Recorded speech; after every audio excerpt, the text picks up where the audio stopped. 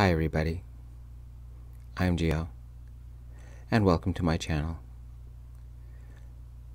I like to write gay fiction, and I present it here.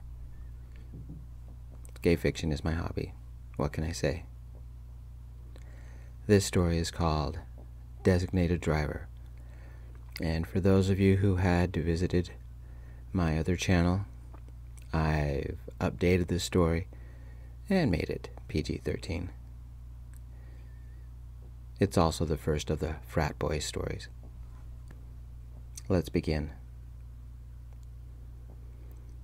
I dropped ice into the blender until it was half full. You need to get out of your apartment tonight, Jay said. I don't feel like it, I said, adding fresh squeezed orange juice to the ice. You need to get over Edward.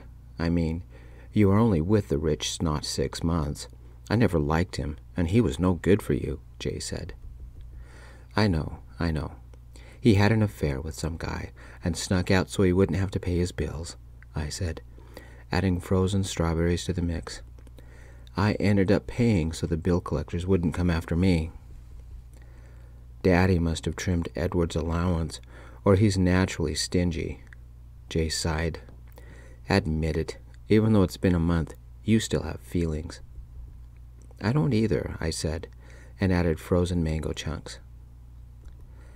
All you've done is sit around eating triple berry raspberry ripple ice cream, chocolate chip cookies, and whatever you call that drink you make, Jay said. A virgin Monaco sunrise. It's citrus filled with vitamin C, it's healthy, and it's the best thing when you're depressed, I said and added the last solid ingredients frozen slices of kiwi and frozen slices of apricot. I bet it tastes great with a splash of vodka, Jay said. I cut a lime in half and stared at my best friend. Damn it, Jace, stop pressuring me. How many times do I have to tell you that I don't drink? I'm just saying, don't be so sensitive, Jay said. I squeezed the lime into the blender, put on the top, and started it. A minute later, I poured the mixture into two glasses. I said, It's too soon to start seeing people. Not if I have anything to say about it. Your nights of staying home alone end now, Jay said, and took a sip. This is good. You, my eternally sober friend, are our designated driver, and I'll pay you twenty bucks. So that was what this was about. He needed somebody sober to drive him and his friends somewhere. Once again. What are you dragging me into this time? Make it forty, I asked. It's the first week of the semester, and one of the frats is hosting a get to know your neighbor party. Everybody's invited. Dancing, hot tub, sweet little honeys, barbecued, everything. There's even a game system for the gamer geeks with a 75 inch flat screen. This party will be just like all the movies, Jay said. I'll pay you 25. Frat parties are not known to be sober friendly, I said. 30. I'm not going lower. 30 it is, Jay said. It's time to wear something nicer than that old t shirt. Tonight, I'm getting you out of the house and we'll find you some studly sex god to play tiddlywinks with. You can thank me later. I wasn't in the mood to play tiddlywinks. How did Jace push me into this? We'd picked up two guys from Jace's dorm who wanted to meet people a surfer who had transferred from Hawaii named Hutch, and a foreign exchange student from Germany who barely spoke any English named Albrecht. You're chill, bro. Thanks for the catch. Hutch said to me as he climbed into my car. He wore green and yellow board shorts, a shell necklace, the remains of a shirt that had once had sleeves, and I'd seen a Greek statue that had almost as many muscles as this man. Hutch was probably on a magazine cover somewhere. He'd hook up with somebody in minutes. Albrecht spoke very slow, as if he were thinking about each word. Thank you for giving us a ride to the party, he was completely opposite to Hutch. Long sleeve button down white shirt, khaki slacks, and penny loafers. This poor guy had the look of a deer about to be hit by the space shuttle. Who am I? Dane Richards, physics major. Five foot eight, a little on the skinny side. I'm only 140 pounds. I'm not even close to being a studly sex god. I have brown hair, blue eyes, and I'm plain enough for my rich boyfriend to cheat on me. I'm still a little insecure about that. Early evening, we pulled up to the frat house. Hundreds of people were around, chatting it up. The music was loud, and somewhere some guys yelled, Frat boys. Everywhere there were people with beer cans or red cups, and they held plates filled with burgers and fries. Multicolored Christmas lights hung about the porch and the front double doors. I'll find a place to park, I yelled over the music. Jace, Hutch, and Albrecht jumped out of the car. I'll text you when we're ready, Jace yelled, and he, Hutch, and Albrecht were swallowed in the crowd. Jace had never closed the passenger side door. If I went back home, they would never miss me. I leaned over and grabbed the door handle. Some guy opened the door. Whoa, Eugene, wait up. I didn't think I'd make it. A guy jumped in the passenger seat. A cute Japanese guy who smelled nice, had double pierced ears, and a single stud piercing his left nostril.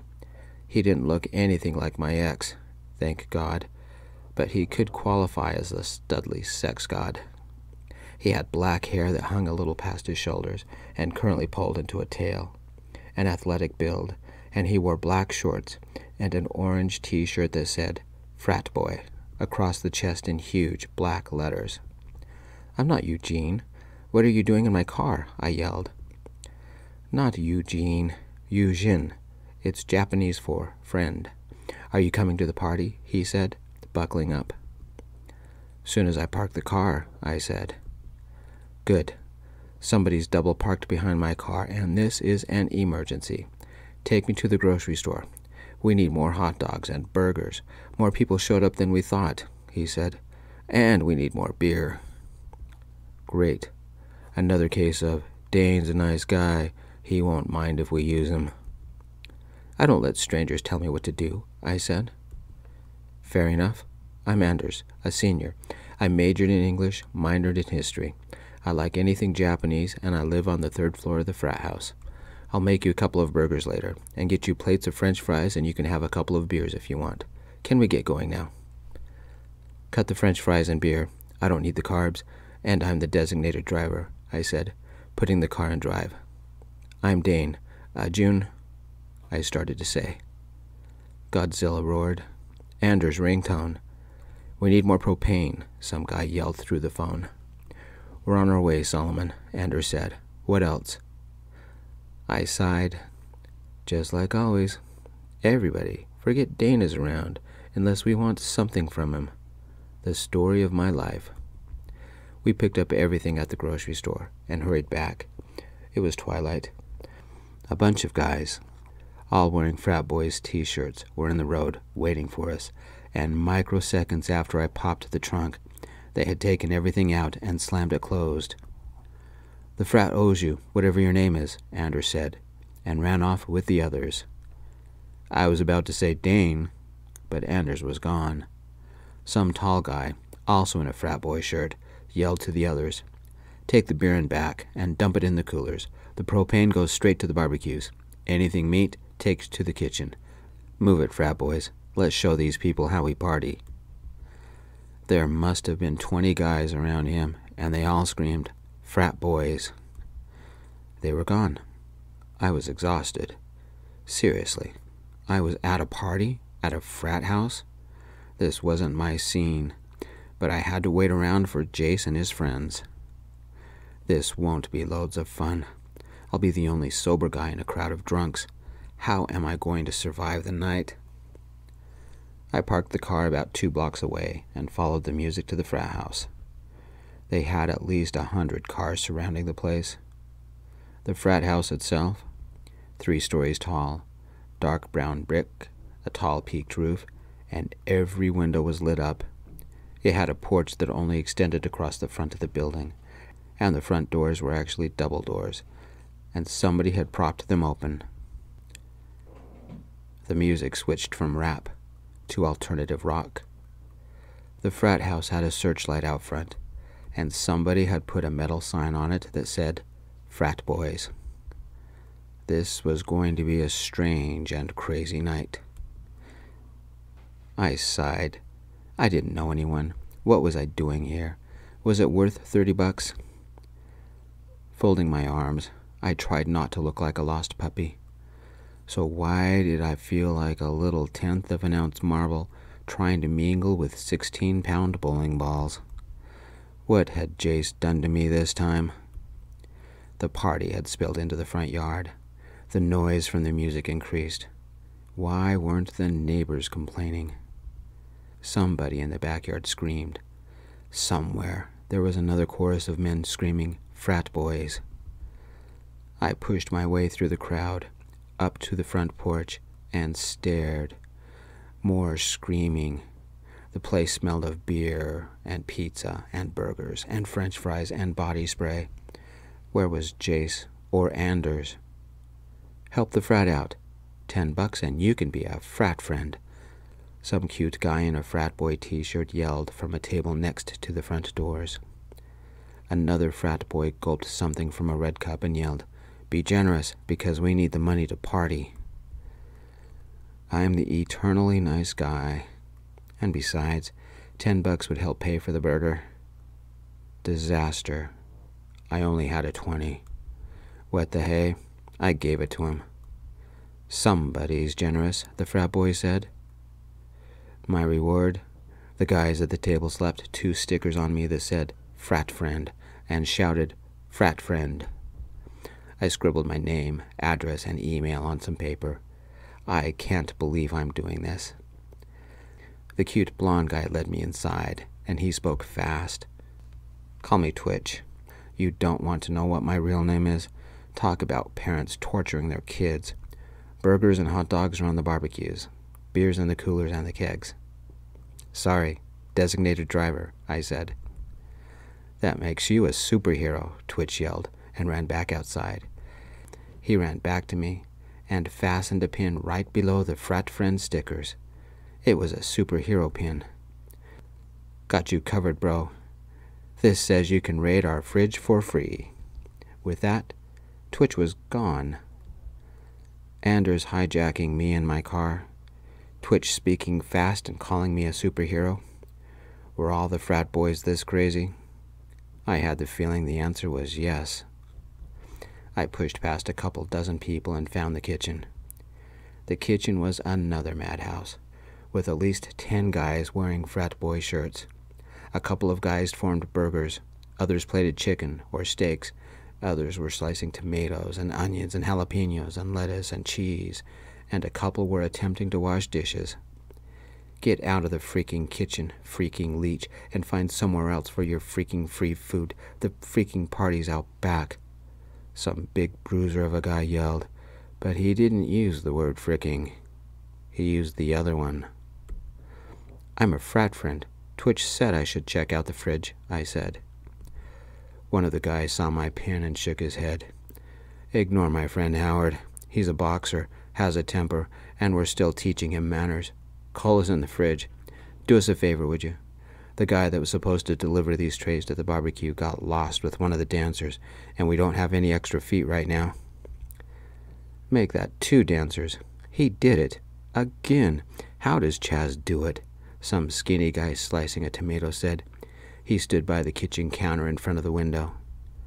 Freak. Either freaking Chaz gets freaking cleanup duty or I'll freaking break something like his freaking nose, Howard growled. He didn't use the word freaking. I didn't know anybody. I had no friends here, at least none that I could find. I was still depressed about my ex. I didn't really want to mingle among strangers. Once again, they asked the nice guy to do something. What the hey? I might as well help these guys out. I didn't fit in with them, but I didn't have anything else to do. Would it be too much to ask that someday somebody do something nice for me? I grabbed the tray of hamburger patties and hot dogs and took them to the barbecues. The back of the frat house had a long wooden deck with benches and bright beach umbrellas. Christmas lights were wrapped around the railing. One end of the deck had a large 20 person hot tub with at least 30 people in it, and the other side of the deck had six barbecues, a table with all the cooked burgers, buns, condiments, and sliced vegetables, and a second table with two kegs on it and about a thousand red cups. Next to the table with the kegs were several coolers. Guess which table had the bigger line? Several portable spotlights were on poles around the deck and flashed multicolored beams on the dancers dancing in the middle of the huge back lawn. A table had been set up for a DJ who also wore an orange frat boy shirt. Everywhere I looked were more and more people. The music switched to rap and was so loud I wasn't sure I'd have eardrums in the morning. I don't drink. I don't dance very well. Crowds intimidate me. This wasn't my scene. Why am I doing this? Jace expected me to find somebody I could relate with here, among this ocean of people. A bunch of people were in the middle of the backyard, dancing. The DJ yelled, Hold your partner tight and get romantic. By request, a slow dance by Pixie with one red shoe. The music shifted to something I'd never heard on the radio, and the mood instantly slowed down. A romantic rap slow dance song? Seriously? Some people left the dancers to get a drink. A lot of couples joined the dancers and slow danced. There weren't any gay couples dancing. Was I the only gay person here? This is going to be a very long night. I should have charged Jace 50. I took the tray to the barbecues. Anders was manning the third barbecue. He must be six feet tall, and his back stretched out that shirt in a pretty, evocative way. In a I could stare at you all night kind of way. That guy must work out. He had his back to me, and something odd and black peeked above the collar of his shirt. Some kind of tattoo. I could definitely stare at him all night. Somehow, he must have sensed I was here because he glanced back at the very moment I was checking out his body. And he caught me staring. Oh, crap, I said. But I didn't say crap. Anders gave me a pouty kind of a smile. Eugen? That's me, I said. The guy who took me to the grocery store? he asked. Dane Richards, you kidnapped me, remember? I said. Best decision I've made all day, Anders said. A yell came from somewhere, and some guys chanted, Frat boys, and we both stared at the dancers. Though the music was slow, that didn't stop some guy from showing off his moves. It became a dance off between him and one of the frat boys. I don't think I said thanks, but I don't have time to do it properly now. You up for swapping numbers later? Anders said. Cook now, flirt later, another frat boy said, taking the tray from me and giving me an empty one. Fill her up, frat friend. I'll get you a couple burgers ready, Anders said, and turned back to the grill. Swap phone numbers? With a cute frat guy? No, I wouldn't mind. But he might. I'm kind of plain, and I'm not rich, and I don't play sports and I dress in whatever's cheapest, and I don't drink. Anders would mind. Look at all the stylish, good looking men and women here, drinking. I don't fit in. Face it, Anders was only being polite. As I returned with another tray of meat, this time chicken and hot dogs, to the guys at the barbecue, a guy stepped into the spotlight by the condiment table. Edward, my ex and his gymnast boyfriend. Could tonight get any worse? Why did everybody at this party look like wealthy athletes and movie stars and bodybuilders and models and musicians? Edward and his boyfriend were at the condiment table fixing up their burgers. Both had red cups beside them, I assumed were filled with beer. This is just like any other frat. We show them how cool we are, flash a little money, Drop a few names. We're in, Edward said. Edward and I hadn't had a final fight. It just ended. Was it on a Sunday I found out he'd been seeing someone else? Then on a Monday I confronted him? Was it a Tuesday he told me I was tedious to be around? Was it on a Wednesday that I came home to find Edward gone, as well as all his stuff? Was it a Thursday when our internet bill came due that I realized Edward never left any money for bills? I paid it, but I kept a ledger of what my ex owed. When I called him and told him he needed to pay half, what Hattie said? Don't worry, I'm good for it. It's been a month, and I'm still out the money.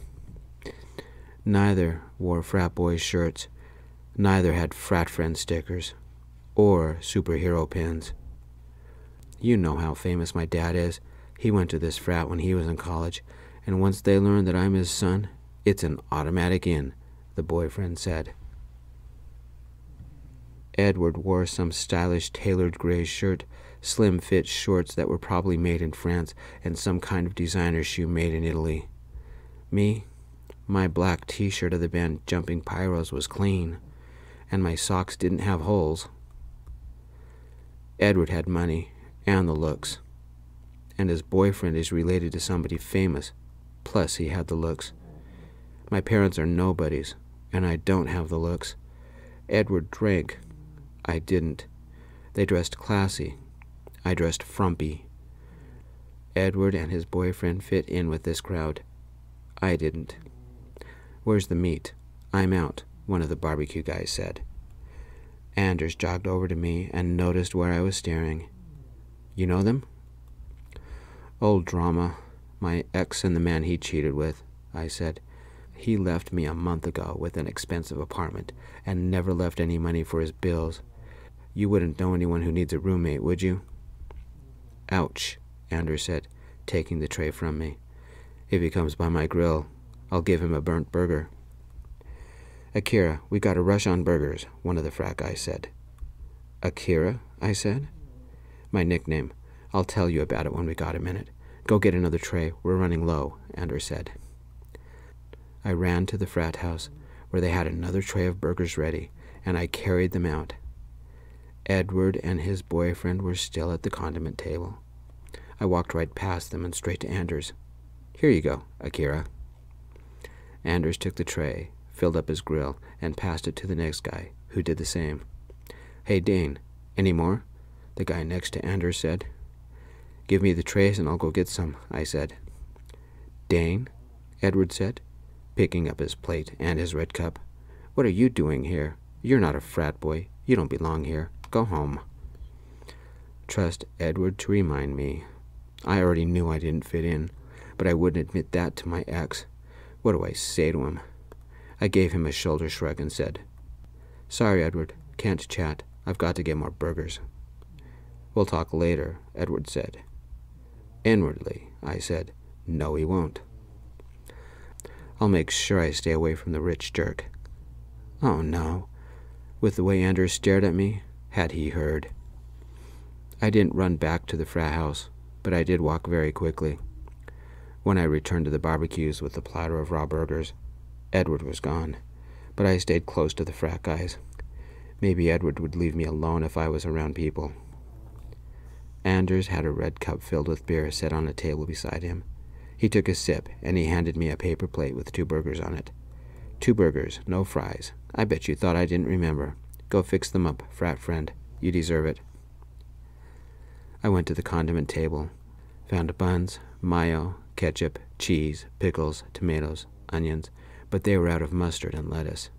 Before I could take a bite, somebody waved at me from the frat house. I set my plate down and ran back. We're out of mustard and lettuce, I said. Good thing these are the last of the burgers, one of the frat boys said, and handed me a tray. I ran it back to Anders and the guys. They slapped the meat on the grill, and one guy stepped back a little and stretched. Good job, frat boys.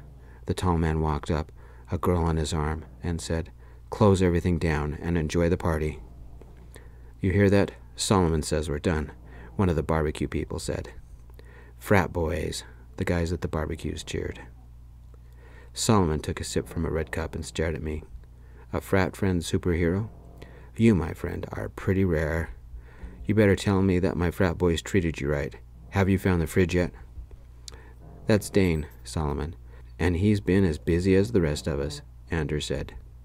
Except Chaz, somebody muttered. Dane stepped up when Chaz stepped down, somebody else said. I shrugged. I saw the fridge, but I was too busy to do anything about it.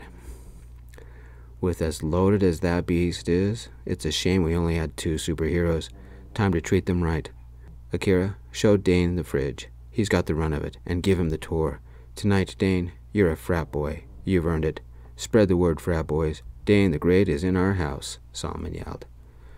All the frat boys around me shouted, Dane the Great, Dane the Great, Dane the Great.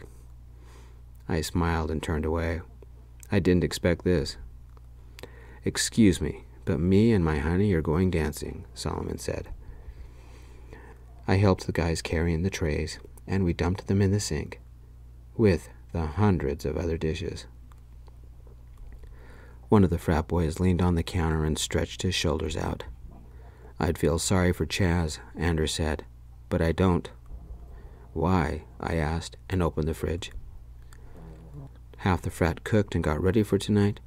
The other half gets clean up tomorrow morning, Anders said. I only had to glance around at the mess before I said, You guys got the easy job. The frat had stocked the fridge with dozens of juices, fresh fruits and vegetables, colas, and every soft drink imaginable. Anders, two things. Do you have a blender? And why do they call you Akira? I asked. Anders got a blender from the cupboard and cleared off some counter space for it.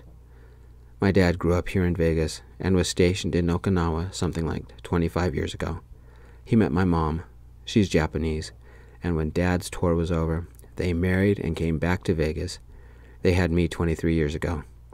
When I was 10, we went over to Japan, and my grandparents took us to this samurai castle where everybody was dressed up like samurais and nobles and geishas.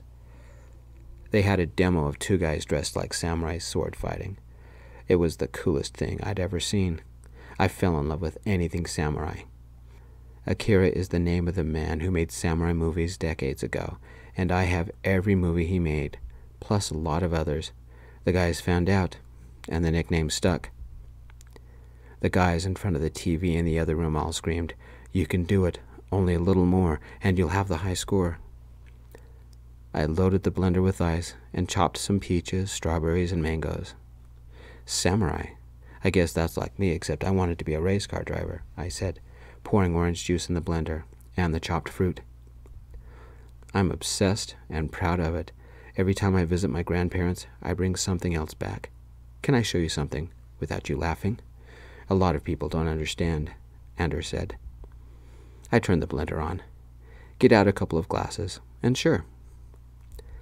Anders looked around to make sure there weren't too many people.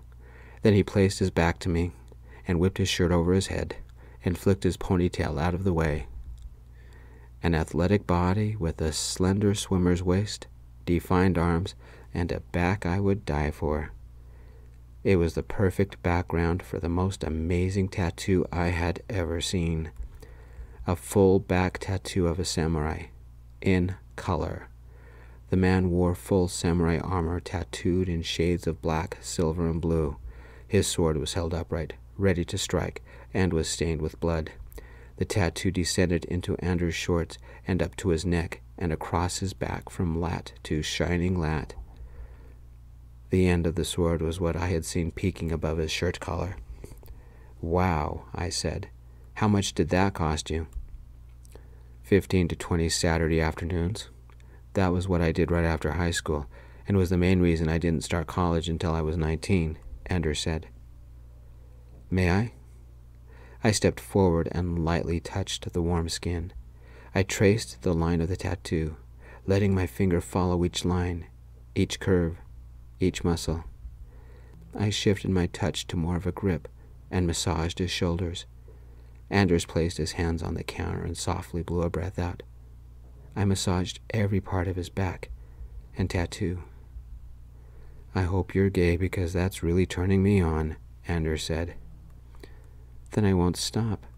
Your tattoo is amazing. I could never do something like that, I said. Something in my voice must have sounded sad or hurting. Maybe I was after seeing my ex.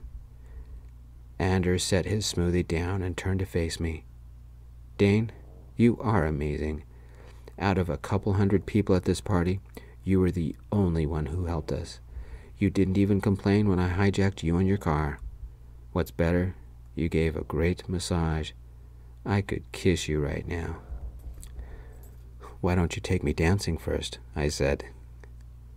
Dancing it is, Anders said, suppressing a smile. Solomon burst in the kitchen, leading a sandy haired guy who also wore a frat friend sticker and a superhero badge. Solomon saw us and didn't quite hide the smirk. Anders quickly pulled his frat boy shirt back on. Found the other superhero. Akira and Dane meet Ben. He's a sober cheerleader. Can you believe such a thing exists? Solomon said. What's the story? Why don't you two drink? I poured the last of the contents of the blender into a third glass and handed it to Ben. Car accident, Ben said. Alcoholic mom, I said. Too deep for a party, Solomon said, and left. The three of us finished our drinks. We're heading out for some dancing, Anders said. Ben, do you want to come? You don't have to be gay or anything. We're only having fun. Say, one on one on one. Good thing I am gay. Let's do this, he said. The three of us went out to the lawn and joined the crowd.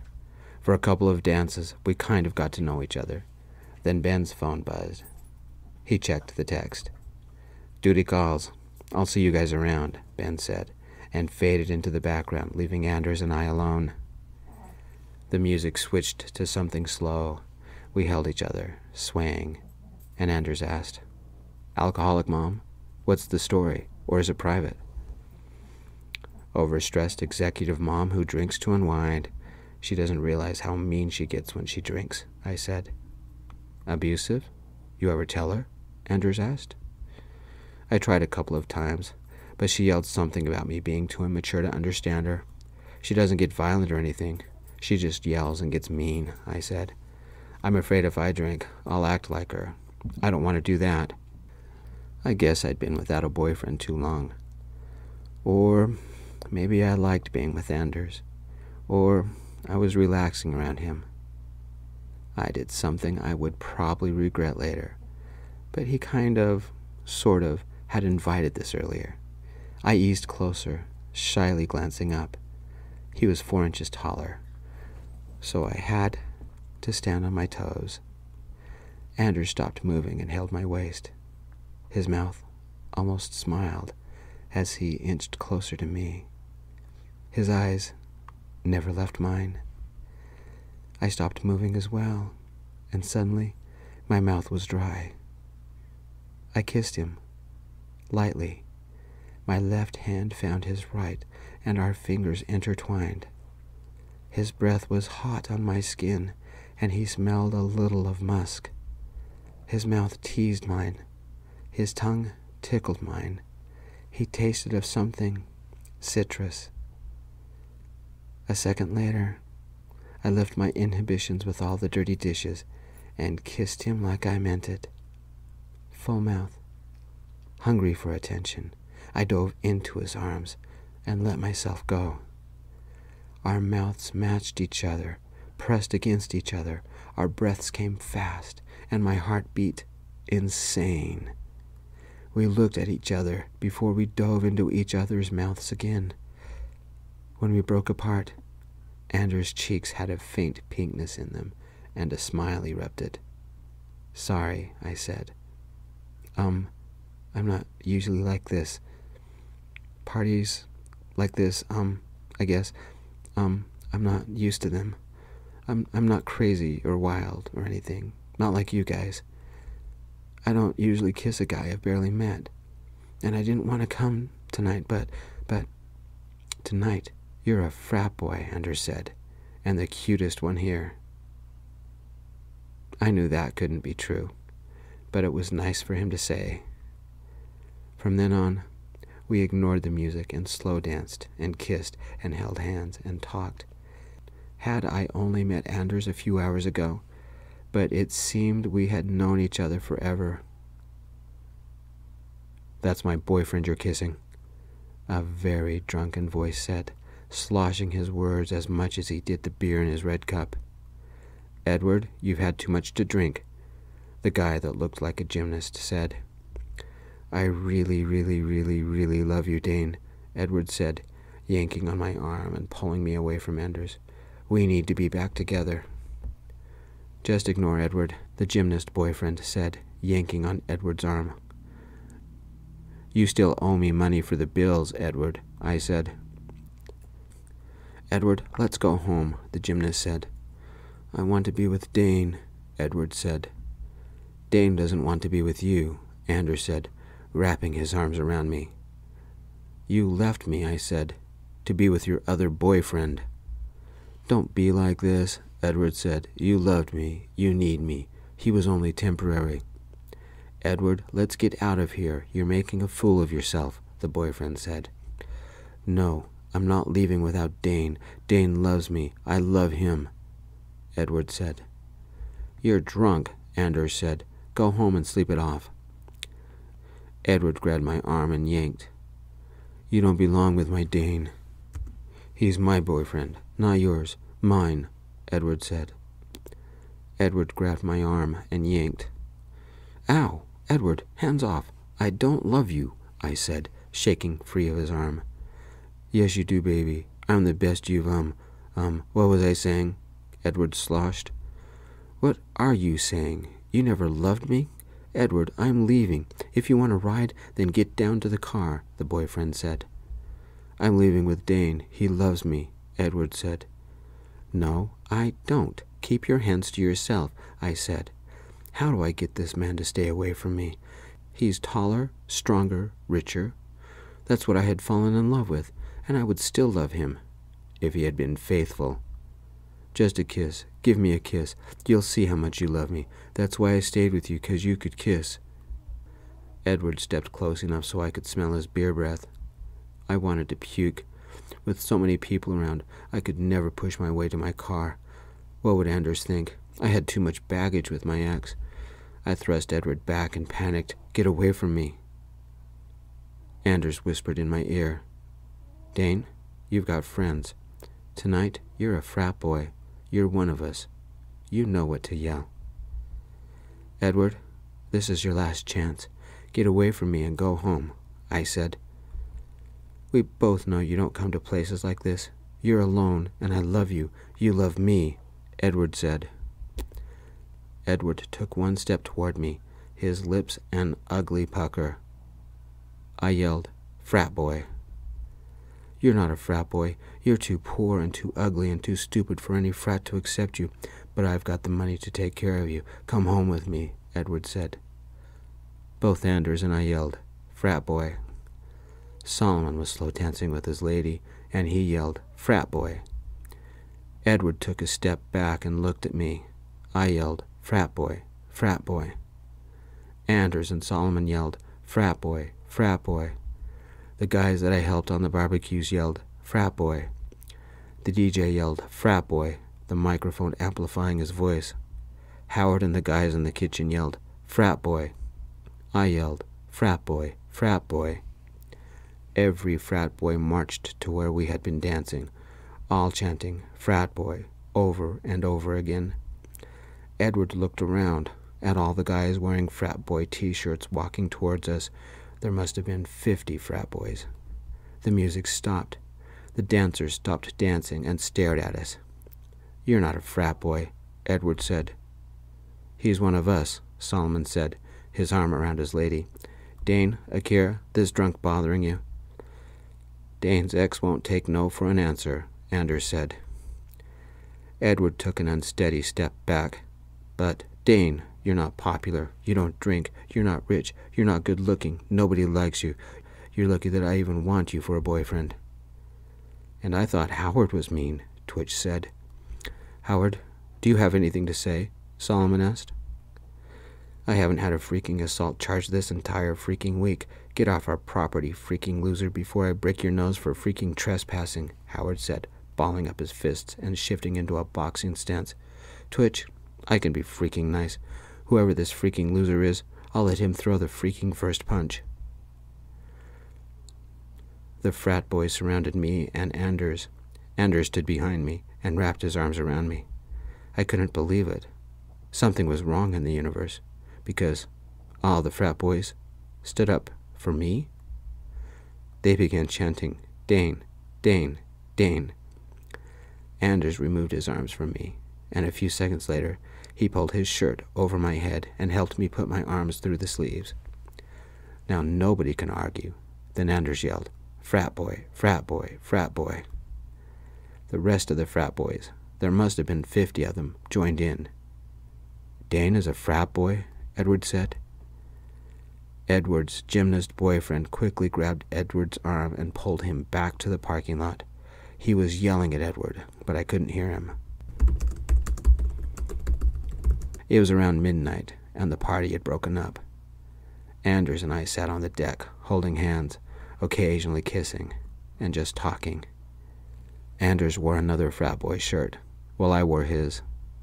Dane, are you ready to go? Wait a minute. Are you wearing a frat boy shirt? Jace said. Because tonight he is a frat boy, Anders said. Late the next morning, I had to do chores, like grocery shopping and visit the laundromat. I finished washing, drying, and folding my laundry, including Anders' shirt. Word of advice don't wash oranges with whites. My ankle socks turned an odd shade of peach. Good thing they're hidden by my shoes. On the way back to my apartment, I had a crazy idea. Would Anders mind if I returned his shirt right now? I drove past the frat house. Chaz and several others were picking up trash, while Howard, Twitch, and Solomon sat on the porch. I pulled up front, climbed out, and walked up to the frat house carrying the cleaned and folded frat boy shirt. Hey, it's our frat friend, Dane the Great, Twitch said. Say it softer. My freaking head hurts, Howard said, but he didn't use the word freaking. Hey guys, is Anders around? I asked. I think he's still up in his room, Solomon said. Twitch, why don't you show Dane the way? Quietly, Howard growled. One thing about the frat. They might know how to party, but they make one huge mess in the process. The cleanup crew got the hard job on this one. Twitch took me up to the third floor and showed me which door was Anders. I knocked. I should have called first, or texted. Maybe he'll see me as being needy, or pushy, or worse, clingy. I should have waited a couple of days. Why couldn't I wait? Anders probably needed his space, or homework time, or me time. A text would have only taken a second. Had I just blown it? It was daylight now. Anders would see the real me. Plain, ordinary me. Would he want to see me again? Last night had been magic, but would the magic still survive? I was all the things that frats aren't known for. I'm not rich. I'm not a model. I'm not into sports. I'm not a cheerleader. I'm not stylish. I'm not exotic. I don't have an amazing tattoo. I don't have any tattoos. I'm not famous. I'm not popular. I don't drink. I'm a little shy and crowds scare me. I'm nothing special. Anders could be a model. He was definitely into sports. He had that amazing tattoo. Everybody liked him. I liked him. But would he like me once he saw what I was really like? It hadn't been enough for Edward. I'm only Dane Richards. My most impressive talent was making smoothies. That wouldn't be enough for a man like Anders. I'll return the shirt and head home. Anders opened the door, pulling a tank top on. When he saw me and the folded shirt I carried, he smiled. Half of his room was decorated like a Japanese house and had a wall of DVDs on the side. A 12 inch figurine of a samurai in full armor and a katana resting on some kind of stand were on his desk. The other half of his room was blank.